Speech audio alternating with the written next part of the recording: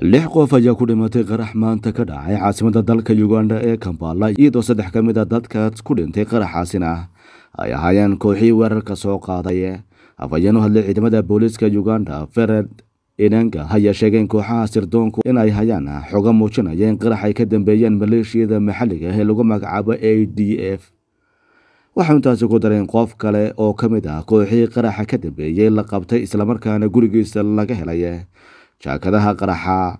Afhayeen u hadlay booliisku waxa uu sidoo kale sheegay in saddex iyo soddon qof ah ay ku dhaawacmeen weerarka shan ka mid a dadkaasina ay la ildaran yihiin dhaawacyo culus oo soo gaadhay kooxda a d f ayaa sheegatay in ay ka dambeysay weerarkii bishii la soo dhaafay lagu qaaday magaalada kambaala ee caasimada dalka uganda.